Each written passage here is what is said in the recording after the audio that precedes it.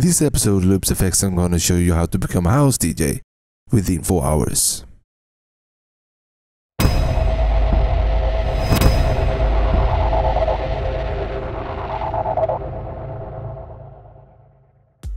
Tjena players and welcome to another episode of Loops Effects. My name is Bergwall or Bergwall as they pronounce in Sweden and today I'm gonna show you how to become a house DJ within 4 hours. I have a 4 hour program that could help you become the house DJ that you always wanted to be. So stick along, let's do this. But before we begin, I must remind you to click the subscribe button and if you want to get updated, please click the bell icon as well. Yes, I know I'm sticking my neck out there when I labeled this episode How to Become a House DJ in 4 Hours. But let's face it, mixing house music isn't that hard. Most of the house tracks are between 124 and 130 BPM, beats per minute, meaning how fast the tempo of the tracks are, and 80% are 128 BPM precise, the most predictable tempo ever. If you have a house track that is perfectly aligned in 128 BPM and another house track with exactly the same measurements, it's not rocket science to get them working nice together. All you have to do is hit that play button in perfect time and keep one ear to the beat and make small adjustments if the tempo is drifting. And too many of you house DJs out there pride yourself mixing house. You might wanna test other genres like reggaeton or make a tempo change from 125 to 105 BPM in 32 beats live with both records up to test if you really are that good of a DJ, sync button or not. I have nothing against house, I love it. In 1988, I started the first real house club in south of Sweden, perhaps the first real house club in whole of Sweden. However, when you follow this course saying you will become a house DJ after 4 hours, it doesn't guarantee that you'll be ready mentally. It's a whole other ballgame mixing at home and mixing at a club or a party. Just having people around you listening to when you're mixing makes every beginner or most wannabe DJs nervous. If not, you might be a zombie. To be a successful DJ, 4 hours is not enough, rather 4 years. And you got to have several things going for you before you start. Buy a controller that got a high second-hand value, because if you lose interest or doesn't succeed in the way you want, you might want to sell the equipment. The choice of USB pen drives, USB sticks, or a computer as a musical source is totally up to you. I used pen drives for years, but when I tested mixing with the computer, I discovered all the fun things I could do, all the more things I could do. My first year with the computer, I grow more as a DJ than I have done the 10 previous year without. So let's roll up our sleeves and get busy for 4 hours, even though this episode is shorter than that. But before I start, I would like to show you a little something. I just redone my webpage and I'm inviting you to go and see it. The address is ima.dj. Of course it is. We take two tracks that have the same BPM, 125, and no sync and no tempo reset so we can use the tempo faders. Same thing on deck 2, 125 BPM. Click on the cue points or the cue to make sure that it starts at the first beat or where you want it to be. In this case the track on deck 2 is going in on the track on deck 1 and you always work with the track going in. This is called the jog wheel and is very essential. You can slow down or speed up the track to make it align to the beat on the track on deck 1. As you can see there are a perfect grid for your fingers. So the first hour of this course we focus on getting the tempo of the tracks aligned with each other. We press play and wait for the right moment on the other track and press play. Here we go. It's not perfect but we speed it up a little or slow it down. Can you hear the difference? Where it is? Can you feel it? Yes, we're getting there, we're getting there. Up and down the beat. Yes.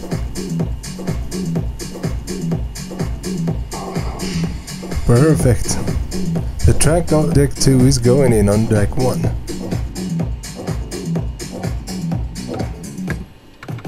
Let's do this again, but let's be loose on, on the play button so the, the track is drifting off from the beginning.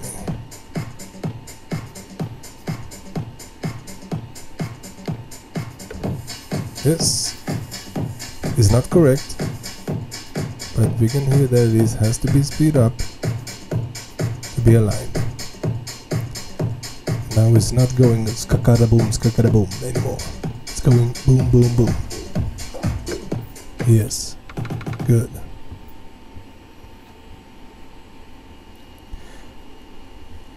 Now we take a track that is, that is 1 BPM uh, higher than uh, the track on deck 1. So the new track is uh, 126 BPM, is 1 BPM more. So now we have to work with the tempo fader or the pitch fader or, or whatever you like to call it. So we have to work with um, with the jog wheel and the tempo fader at the same time.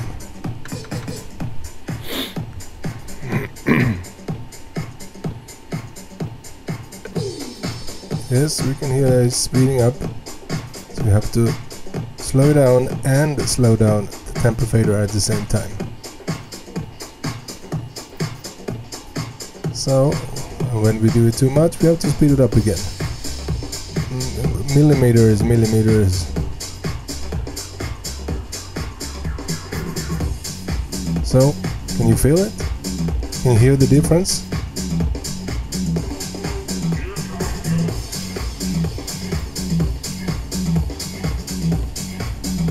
It's small, small adjustments. And you can hear the, the beats going up and down, going ka ka boom, ka ka boom. When I do this, you can hear it. You hear the difference between this and when the beat is aligned.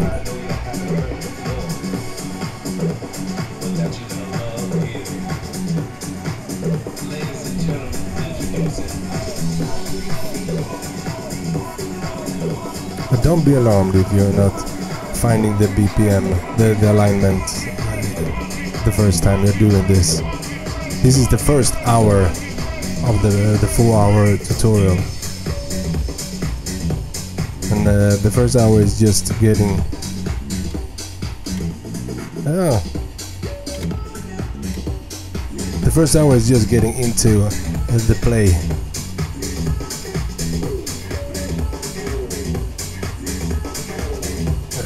it was when I was not listening. This is what you do uh, all the time when you gig. You you fix a beat and you it's perfectly aligned, but a minute later or something like that, it's um, it's uh, drifting away. So, where shall you mix the track? You hear? It's a boom and a ta, boom ta, boom, ta. It's here as well.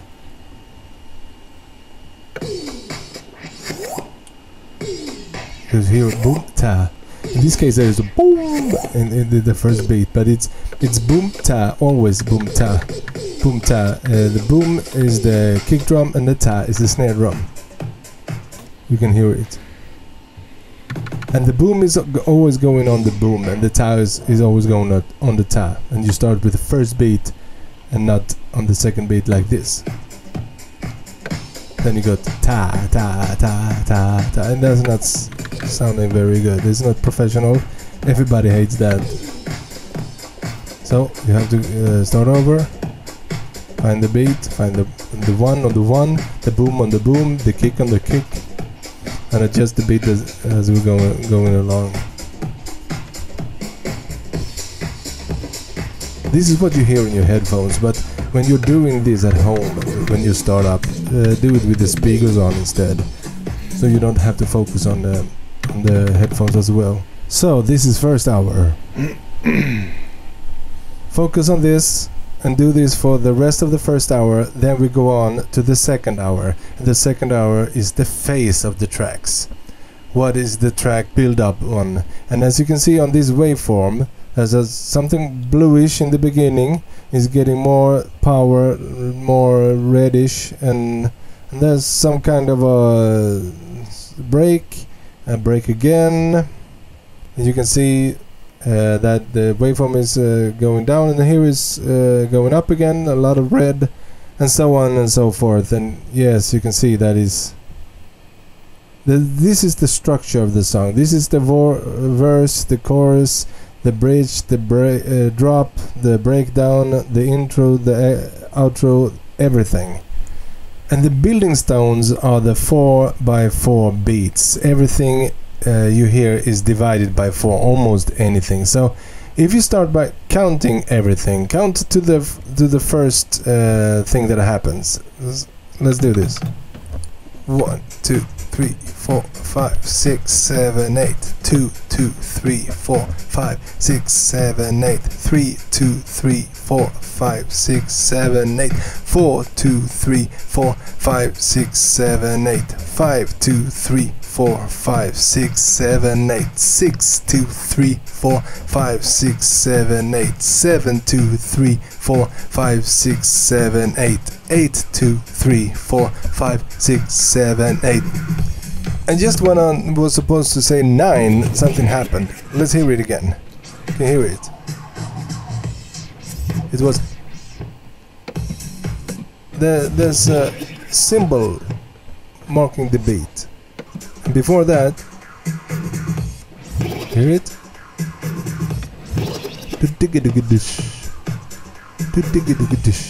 Yes, the new phase is always introducing itself, and the old phase is more or less welcoming the the new phase. And in this case, it was a fill, pump, and then uh, and a cymbal. And here is a cymbal as well.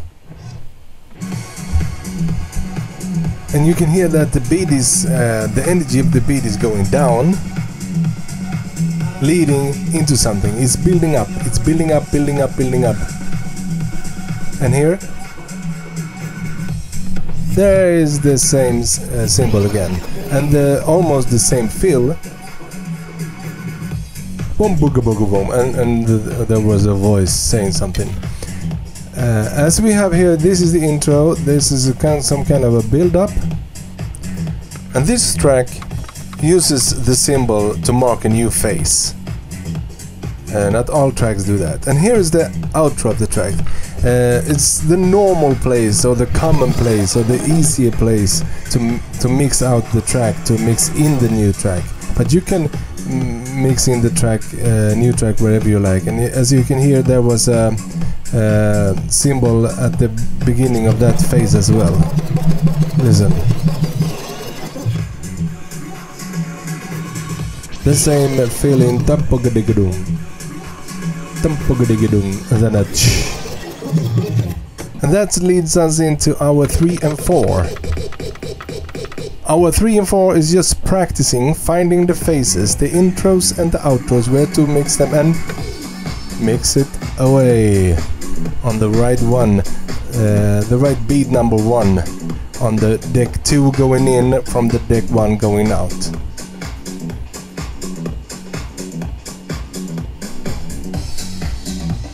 and I suggest you repeat it uh, four times with every track you do. Uh, roll back and do it again, do it again, do it again for four times, and then skip to next next track. So you uh, really start to um, get uh, acquainted with the tracks. And repeating something you know is good uh, muscle memory as well. It has to be in the fingers, not in your head, not in your toes and your feet and and uh, that uh, last uh, fade uh, concludes this lesson in four hours. And I, I beg your pardon, uh, mixing and talking at the same time wasn't that easy. And the microphone was uh, slipping away, so I had to deal with that as well. But practice, practice, practice. And uh, if you do these, these four hours over and over again, uh, you might be more prepared than you think. Thank you for watching.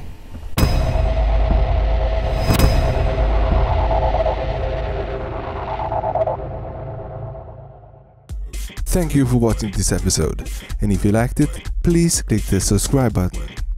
If you got a request for a tutorial or got a product that you want me to test and review, please send an email to hello at loopsfx.com. See you next time.